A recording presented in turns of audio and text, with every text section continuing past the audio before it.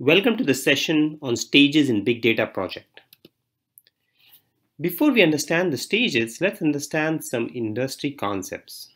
One of the most common industry concept these days in the big data world is called as data lake, also referred to sometimes as data hub. This is a centralized location to store data in the Hadoop system, which can be sourced from various source systems and applications.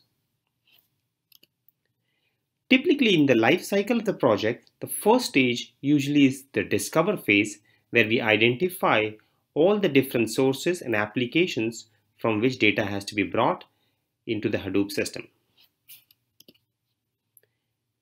Ingestion is the next phase where we actually bring the data from these different identified applications and sources into the Hadoop data lake, which could be HDFS or some NoSQL database or either it could also be a relational database sometimes.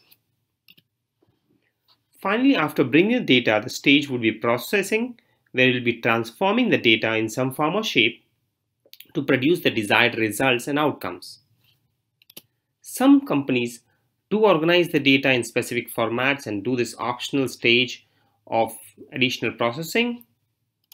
But finally, we have the application stage where it could be a self-service dashboard for our users, a web-based portal, an app as Uber, or an alerting system based on the requirement of the project.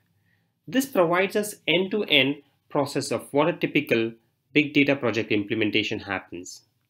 Based on that, we have designed the course and the different stages in a typical big data project. So in terms of life cycle, you would be starting obviously with the foundation. In this category, we have two categories. We have technical items, which include things like Unix, Cloudera install, and also non-technical items like the understanding of the stages, understanding of the different roles in a big data project, and so on and so forth. The foundation is a very important stage. It helps build the foundation for the successful implementation of any big data project. That's why it is crucial for your learning as well as the implementation of the project. Next is storage, where we identify where in the Hadoop side of the world we'll be storing the data. It would be HDFS or some columnar databases, NoSQL databases like HBase, or it could be sometimes relational databases as well. Now getting the data into these systems will be the process or stage of ingestion. We could use Sqoop for building relational data, Flume for unstructured data, and Spark Streaming can help us in bringing real-time stream of data. Finally, we'll be performing some processing, whether it could be simple processing using MapReduce, Hive, Pig, Spark SQL, and some other similar technologies, or it could be ranging to advanced processing like machine learning using Spark MLlib, GraphX, etc. In the end, the application, which will be the end user application, will be developed whether it is a dashboard in Tableau or some other reporting system, a web-based portal, or an application.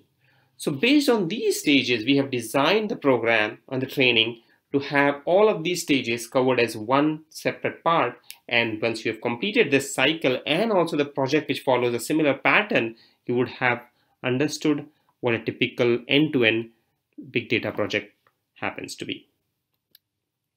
Thanks. And if you have any questions, please feel free to reach us at info at bigdatatrunk.com. Thank you.